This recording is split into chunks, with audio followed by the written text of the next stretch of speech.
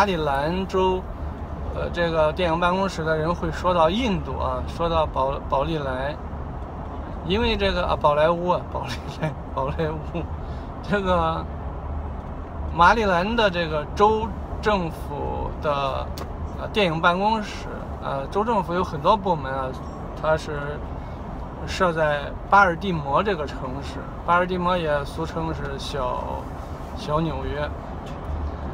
这个马里兰州的州府在阿里呃啊啊这个安纳波利斯，但是它有很多州政府的部门呢是在呃巴尔的摩。巴尔的摩这个地方，这个主流社会里面的从业就是这个从业人员非常非常多印度人。据说巴尔的摩这这里有几个印度的老老世家呀，这个家族啊，他们的势力非常非常大。啊，巴尔的摩这个城市在美国这个去工业化过程中，很多很多这个废弃的厂房，包括一些大的楼盘，都被巴尔的摩附近的这个这几大印度家族啊。收购，大家应该，大家大概不知道，他们收购的这些政府拍卖的，或者是，呃，这个政府帮助处置的资产，很多都是零付款，或者就是象征性的给政府一点钱，只要你能够把这个废弃的厂房重新让它对外营业，解决就业，这个厂房就给你了。那很多什么，它这个市中心的大楼，都是些这个传统的这个受到保护的这个这个这种古迹，这些大楼啊，被这些很多印度家族就收购，收购政府就要求他们要让这些楼重新装修营业，他们就把他们装作装呃重新装修成。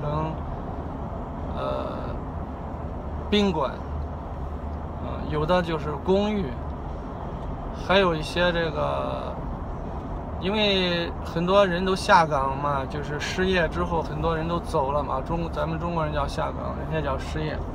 这个失业走离开了巴尔的摩这个城市，那有很多学校，这种公共设施也就没人用了，因为家庭都搬走了，没有孩子上学了。这些学校呢，而且也是在比较市中心的地方，他们把它收购拿到之后，呃，几乎就是象征性的给政府点钱。拿到之后，随着美国这个奥巴马政权政府上台之后呢，不是又要这个呃重重回这个制造业，重重振制造业。那这这些。印度家族就把他们收购的这些楼房，包括这个我刚才说的学校，又重新装修，装修成公寓，就是给啊回来上班就业的这些白领啊提供住宿啊出租啊，他们真是这个玩的很好。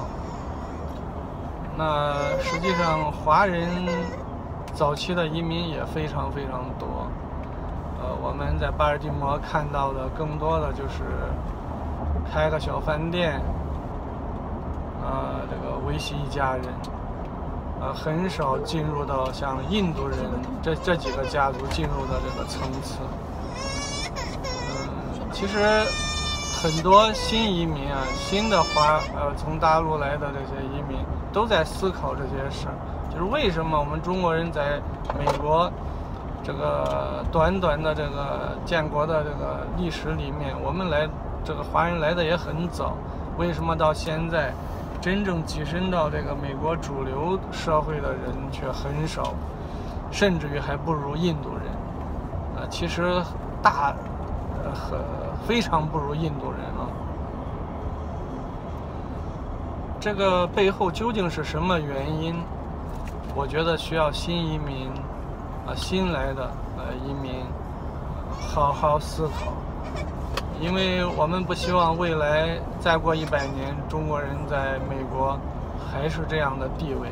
我们当然不想去超过什么人了，因为在美国时间长了，大家都知道，这是一个多族裔、啊多多元文化、多种族、多这个不同的宗教共存共荣的一个地方，也没有说非要谁比谁强，但是也不能像华人现在这么差，这个这个这个差差距太大。就是和我们自己老祖先的这个文明啊不匹配。当然了，和现在我中国的这个经济实力也是不匹配。咱们到美国这个会看到很多地方，这个这个地名的后缀啊，经常出现像什么什么什么 mill 啊，就 M I L L，什么什么 will 啊，呃 V I L L E。还有什么什么 Burg，像我们住在马里兰，这个这个，我们是那个城市叫 Rockville，就是 Ville，V I L L E，还有 Burg，什么 Gaithersburg，什么 Clarksburg，很多个 Burg，Burg，就是翻译成什么什么什么堡，什么什么堡。我我们住的 Rockville 就是 Rock 石头，Rockville 石头村就石家庄。呃 g e t h e r s b u r g 翻译成盖城。g e t h e r s b u r g 兔，十里兔嘛，就是宝嘛。啊。村儿，其实宝不就屯儿的意思吗？屯儿宝，对。还有什么什么 Mill，Mill，应该说 Mill 这个词儿。他们说是磨坊嘛，好像是 Mill 的这个这个起名的地名，这个地方有可能是过去法国人比较多的这个呃法国人居住的居住的这个地方，这个殖民地的起的地名。Ville 啊，像 village，有可能就是英国的。Burg 呢，更多的就是大家说就是有可能是德国的啊，德国人在这儿。居住的地方，德国人比较多的一个地方，他们起的名字。所以整个美国其实说白了就是一个移民的国家，嗯，各个族裔、各个呃种族的人都有。像我们零七年开始到美国，呃，一一年基本上在这里。准备定居啊，有一个感受就比较特殊啊，比较明显，就是印度人啊越来越多。像我们居住的那个那个城市那一带有个 Costco，这个比较大的超市连锁，几乎一个大城市都有，啊，比这个沃尔玛还要多，还要还要大。才来的时候在里面买东西，就是很少见到呃印度人。现在每周去买东西，大概能够看到三分之一都是印度人。就整个大华府这个地区啊，呃，因为它是 IT 行业，就是除了硅谷，IT 在在这个大华府地区也是一个主要的从业。呃很多很多印度人，很多印度人。嗯，这个大家私下里说个笑话，就是这印度人一移民就是一窝一窝的，就是一家呀带家什么拖家带口一大串孩子也多，一大串一般一说移民，一个家庭还不得来个七八个，甚至。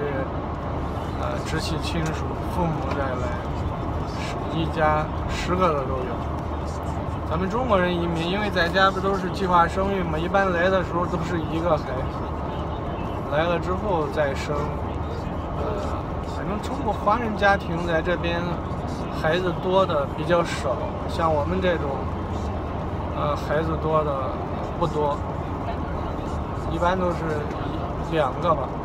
之前像那个生了一个以后来的，年龄在五十岁以上的，基本上也就虽然移民二十年左右了，他们再生的第二胎的也很少，也许移民的时候已经结扎了，已经没有这个生育能力了。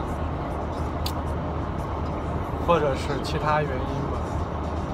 嗯，其实今天我们还聊到了一个话题，就是很多老移民啊，说你们新来的有什么了不起？你们赶上了三十年改革开放这个分赃期，说你们你们趁趁钱啊。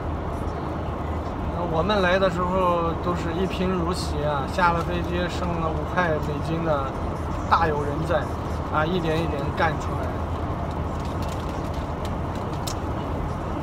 但这个事儿啊，自己关着门，华人自己说说呀，还能说得过去。因为咱们中国人就是阿 Q 精神啊，阿 Q 精神，自己自圆其说，自己给自己宽慰啊。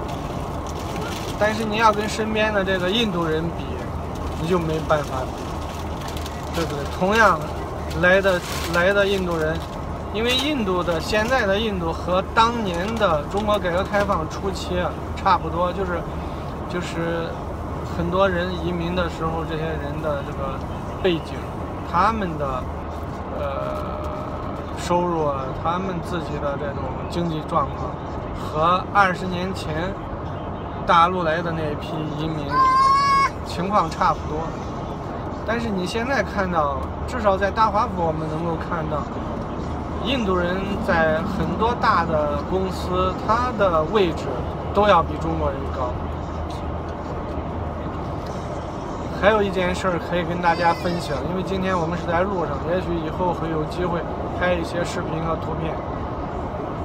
在印度人比较集中居住的区域，印度人生活中啊，经常穿戴的都是他们的民族服装。在整个美国，可以说这些移民的这个族裔里面，唯独只有华人。我说这个就是不能说太绝对啊，但是我可以这样说，用用这个用这个词儿吧，就是唯独华人没有自己的民族特色，平时穿的都是老外的这些东西，都是西方的这些东西。就本来就邋里邋遢的，这个再加上美国人的这种生活习惯，生活中平时根本都是越便宜越好呀，没有讲究什么穿牌子。像我们这些人刚来的，还都觉得只怕穿的衣服不是名牌。其实这边的人根本不讲究这个，就除非是参加这个比较正式的场合。参加正式的这个场合才会去穿上漂亮的华服啊、礼服啊，平时穿的都很一般。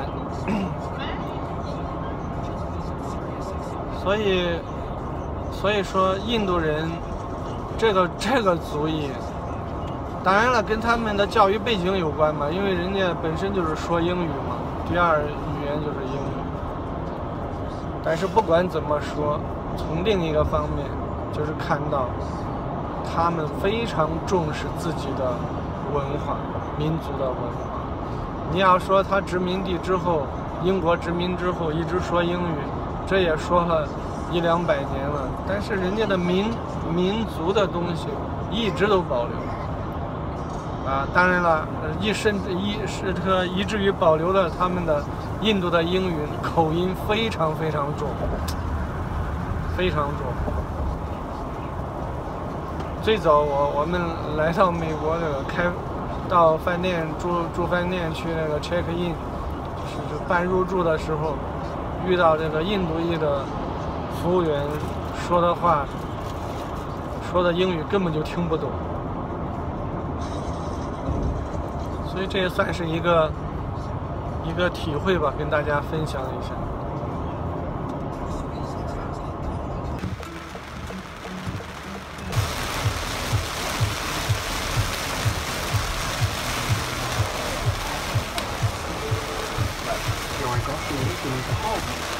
哪儿呢 Tesla. Oh, you do?